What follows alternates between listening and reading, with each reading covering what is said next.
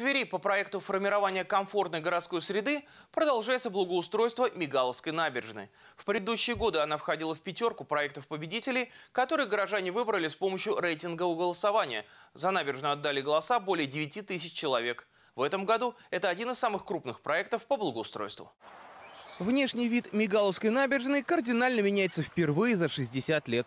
Раньше здесь был лишь дикий склон, несколько лавочек и покосившийся лестниц, ведущих к воде. А уже к этой осени набережная станет полноценной зоной отдыха для тысяч горожан. Это будет основная прогулочная территория данного района.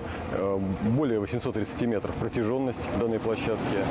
Основное благоустройство – это дорожки, это создание э, ряда детских площадок по территории, э, спортивных площадок. Все необходимые требования по видеонаблюдению и освещению будут также реализованы на этой территории. Работы на объекте в самом разгаре. Заливается бетон подпорной стенки. Она будет своего рода границей. По одну сторону выровненный и ухоженный склон, по другую современная пешеходная зона с детскими игровыми площадками, дорожками, лавочками и газонами. На данный момент сделано э, где-то 400 метров подпорной стены, 5000 квадратов укрепления откоса, киорешетки, засыпали чернозем, вертикальную планировку сделали на всю протяженность набережной. Через неделю собираемся начинать брусчатку.